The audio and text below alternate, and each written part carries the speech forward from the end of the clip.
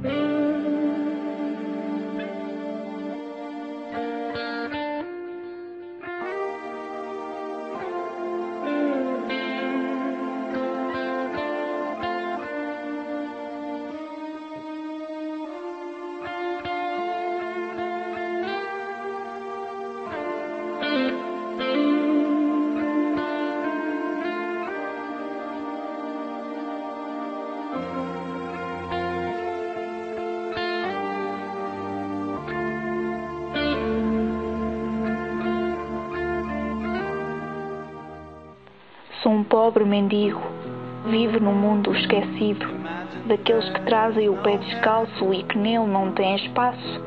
Comida procura em cada canto e dormir tem de ser na rua.